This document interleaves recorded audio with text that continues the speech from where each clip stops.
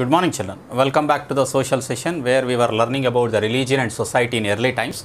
And yesterday uh, we tried to learn about the religion in uh, uh, Indus Valley civilization. Harappa जैसा नगर जो था वो एक्सकावेशंस में uh, बाहर निकाल दिए थे निकाला था खोज के निकाले थे और उधर uh, का लोग रिलीजियस प्रैक्टिस कैसे था बोल के हम कल पढ़े थे and today we move on to the religion of same period okay we'll end up that thing like how was there practice of pictures of a male gods were also found in the excavation there and this may be a god similar to Shiva okay Shiva का uh, जैसा statues बहुत सारे मिले थे बड़ा temples तो नहीं मिले थे मगर statues of mother goddess and male goddess were found there they were they worshipped these in later times in various parts of India also. From other pictures, it seems that uh, the people of Indus uh, took out processions also carrying banners in the honor of their uh, gods uh, during the uh, festival times. Okay.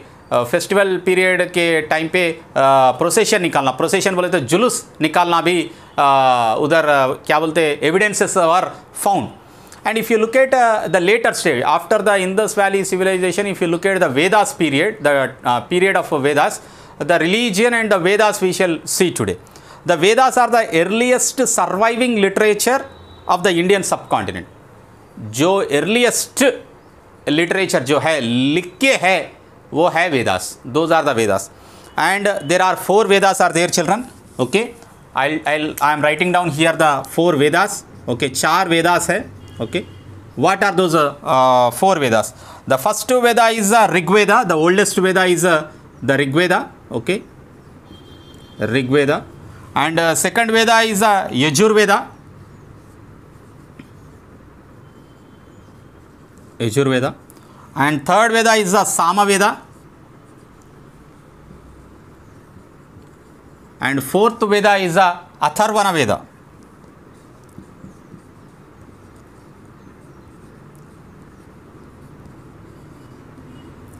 so there are four vedas the earliest time these are the literature literature बोलते हो जो लिख के है सो है okay the oldest one are these four vedas rigveda yajurveda samaveda atharvana veda these are the four vedas and uh, out of them out of them the rigveda is the oldest one which ha- is composed which was uh, written or composed some 3500 years ago okay that means immediately after the human being started leading a very settled life okay uh, where he got the knowledge of uh, using the agriculture okay during that period okay the early people have written this veda that is the oldest veda rig veda the vedas composed by uh, rishis okay what these vedas consist of vedas consists of hymns hymns बोले तो जैसे हम नात रहते नहीं okay वैसे these are called as hymns shlokas were present uh, prayers for the welfare of all the people will be present in these uh, Vedas.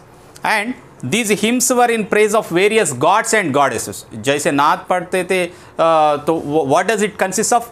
It consists of uh, praising the god and goddesses. In the same way, these hymns also uh, were uh, composed in the praising of god and goddesses.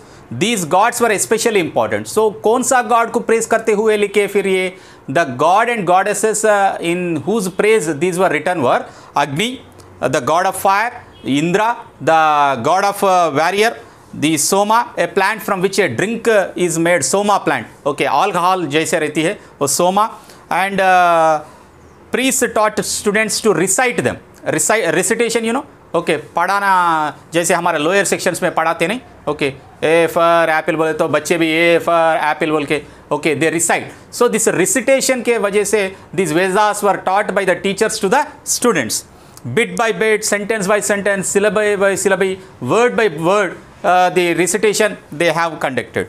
Most of the hymns were composed, taught, and learnt by men. A few were even composed by women also. Not only men, even women also composed some of the hymns in these uh, Vedas. The hymns were recited mainly during the performance of yagnas. Yajnas बोले तो एक सामने एक खुंडी के जैसे बना के उसमें फायर लगा के करते नहीं दैट इज़ कॉल्ड एज यज्ञ वो यज्ञ होते वक्त जो प्रीस्ट पढ़ते रहते हैं those are the hymns uh, these rituals during which uh, offerings were made to the fire fire god को ऑफरिंग्स प्रे करते रहते हैं। During that period this Vedas were recited and we have a prayer to the god here let me recite that one that is one of the most important hymn in the Rigveda असतो मा सद्गमया तमसो मा ज्योतिर्गमया मृत्यो मा अमृतंगमया Om Shanti Shanti Shanti. These are some of the hymns which were present in the Vedas, which tells the meaning of this uh, uh, hymn is, O God, lead me from ignorance, lead me to the truth, from darkness to the light, and from death lead me to the um, uh, immorality. Om peace, peace, peace is the meaning of this uh, uh, hymn.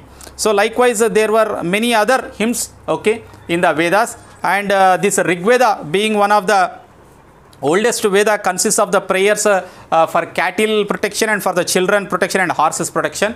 About uh, further about these uh, vedas we will see in the next class children. Thank you. Take care